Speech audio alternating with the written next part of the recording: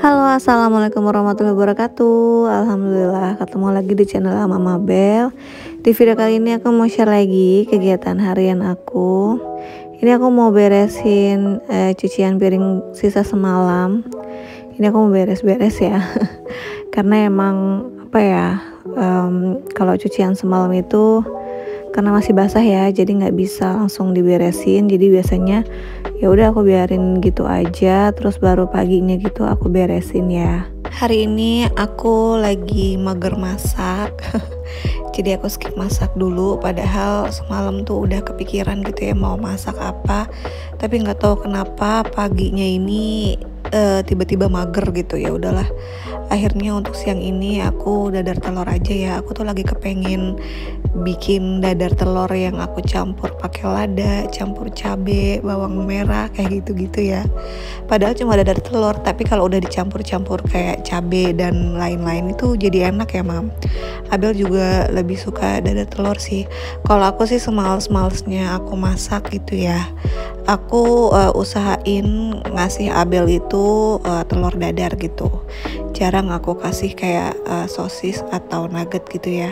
Sekali-sekali aja itu pun kalau urgent banget gitu. Tetap nyetok di kulkas cuman uh, jarang dimakan gitu.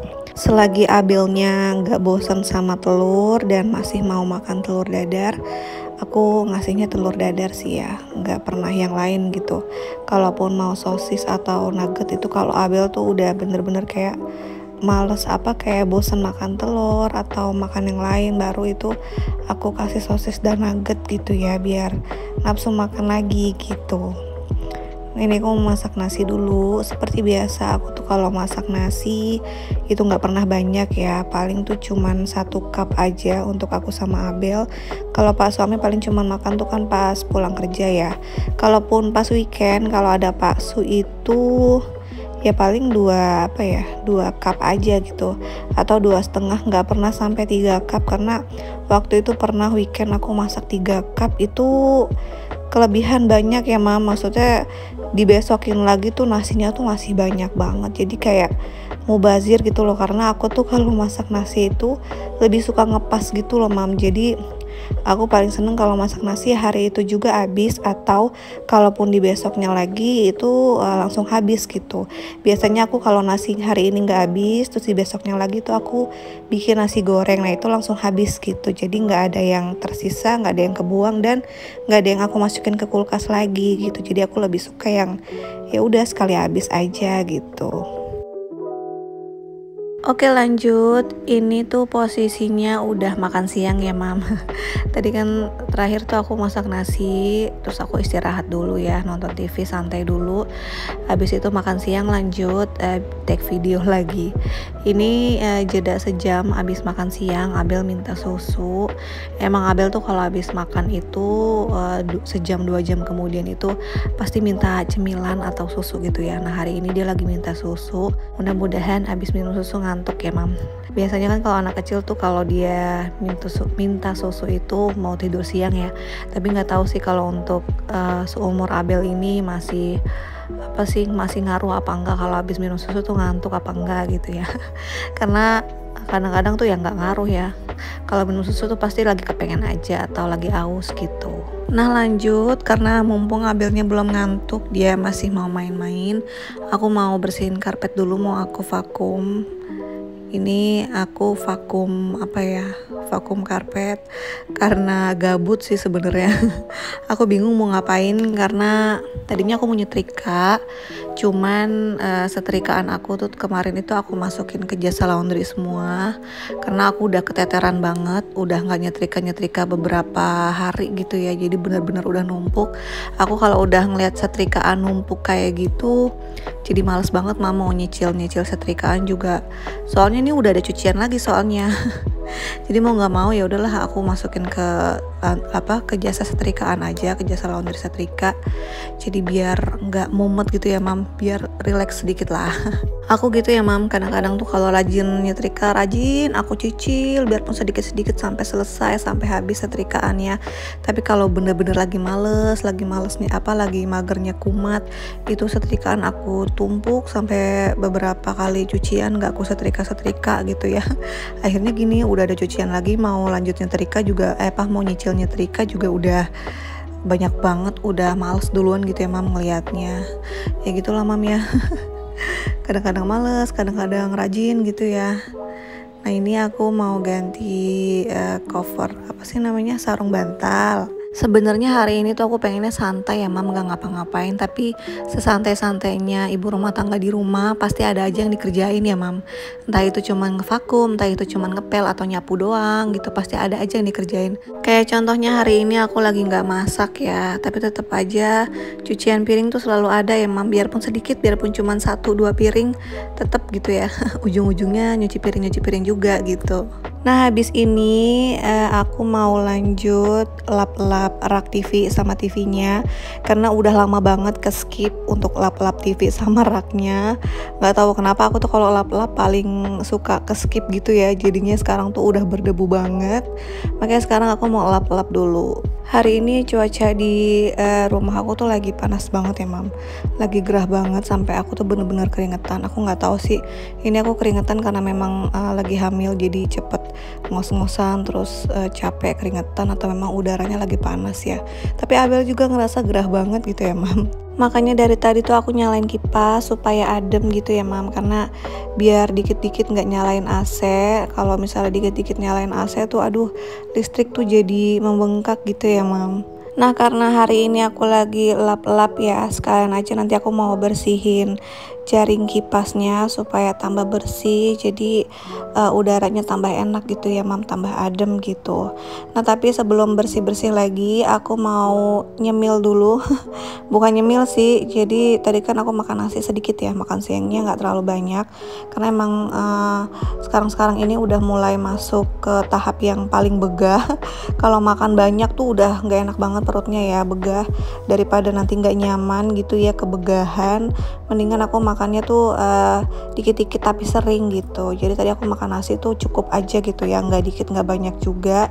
Terus sekitar jam 3an ini aku udah mulai agak-agak lapar lagi. Jadinya tadi aku order GoFood aja. Terus Abel juga ngikut ya udah akhirnya karena udah lama nggak jajan juga ya lagi kepengen juga sekali-sekali nggak apa-apa ya mam.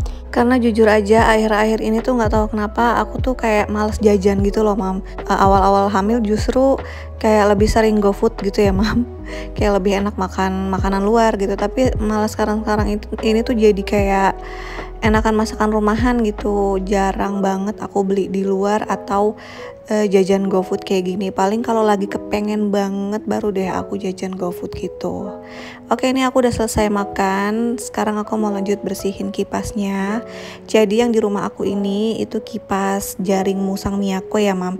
Ini tuh tipe KAS 1618 BPL. Ini tuh ngebersihinnya gampang banget, super gampang. Jadi aku nggak perlu nungguin suami aku ya untuk bersih-bersih kipas karena kipas aku yang sebelumnya itu aku nggak bisa bisa bukanya nggak bisa buka jaring kipasnya karena harus pakai baut-baut gitu. Tapi kalau kipas jaring musang miyako ini tuh bener-bener gampang banget ya mam. Tinggal dicongkel gitu aja jaring kipasnya tuh udah kebuka sendiri. Meskipun gampang dibuka tapi dia itu kokoh ya mam. Bukan yang gampang reot gitu bukan. Ini tuh kokoh banget kipasnya terus juga diangkatnya juga uh, enteng gampang banget gitu ya. Untuk aku yang lagi hamil juga ngangkat-ngangkat tuh nggak keberatan gitu. Nah kan bener ya kipas jaring musang miyako itu jaringnya gampang banget dilepas pasang untuk dibersihin. Jadi bener-bener nggak perlu nungguin suami aku pulang kerja untuk ngebersihin kipas. Karena semudah itu ngebukanya Udah gitu kipas jaring musang miyakonya ini jaringnya itu anti karat ya mam. Jadi mami-mami di rumah nggak usah takut jaringnya ini karatan Karena ini tuh udah anti karat ya. Nah ini aku lanjut bersih-bersihin. Kalau aku setelah pakai lap basah Aku lap lagi pakai lap kering ya mam. Ini seluruhnya aku lap-lap gini aja karena ini uh, termasuk sering aku bersihin jadi nggak terlalu kotor juga. Oke ini udah selesai bersihin jaringnya. Sekarang aku mau pasang lagi. Ini tuh bener-bener mudah banget ya mam dilepas pasangnya. Ngebukanya juga mudah Dipasang laginya juga gampang banget. Ini tinggal di dipasin aja kayak ada pengayatnya gitu Terus tinggal dicetrekin gitu aja ya mam sampai bunyi klik gitu Nah kan mudah banget ya mam masangnya. Pokoknya sampai bunyi klik gitu ya mam Biar bener-bener terpasang dengan baik gitu. Nah kipas angin jaring Musang Miyako ini itu ada tombol osilasinya ya mam.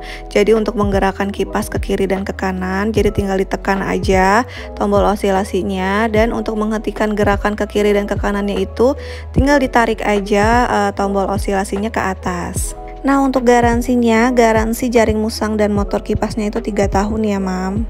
Nah ini kipas Miyako, ini tuh benar-benar berguna banget di rumah aku dikala gerah gitu ya mam. Dikala mau ngirit juga biar listrik tuh, biar tagihan listrik tuh nggak membengkak. Nah ini tuh diangkatnya juga mudah banget ya untuk aku yang hamil tuh nggak keberatan gitu.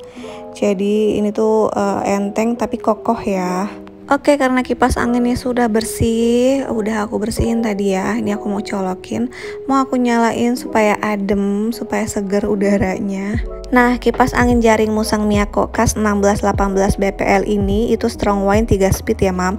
Jadi hembusan anginnya kuat dengan tiga pilihan level speed. Ada level 1, level 2, dan level 3. Udah gitu smooth sound juga ya, Mam. Jadi suara mesin motornya itu tidak bising pada saat beroperasi. Nah ini ada height adjustmentnya juga ya mam. Jadi tinggi rendahnya kipas bisa disesuaikan dengan kebutuhan kita. Udah gitu ada thermofuse-nya juga Jadi mencegah overheat pada motor kipas. Kalau aku sih biasanya di adjustmentnya ke agak lebih tinggi ya mam. Soalnya aku biasanya sehari-harinya di sofa. Kalau misalnya aku lagi tiduran di karpet Biasanya sih aku agak turunin ke bawah ya Agak rendah dikit gitu Nah untuk momi-momi dan teman-teman yang lagi cari kipas angin bisa nih di order kipas angin jaring musang Miyako-nya yang tipe KAS 1618 BPL.